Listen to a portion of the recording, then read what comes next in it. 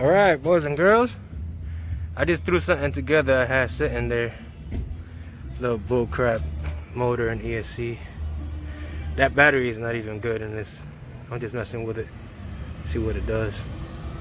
But it's just a little bullshit 3S.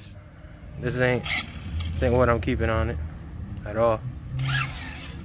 Uh, just got impatient and wanted to try it out, see how it runs. But yeah, my Hobao EPX, got it. Just waiting on my aluminum pulleys, thicker belt, Mamba Monster, I don't know if I want to go with the X or with the 8S. And then uh, some motors to test and tune. Other than that, sweet. Oh, and I need my foam tires too. Got my foam tires coming in.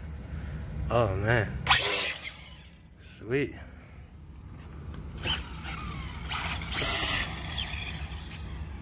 For the little bullshit it got on there, it's alright.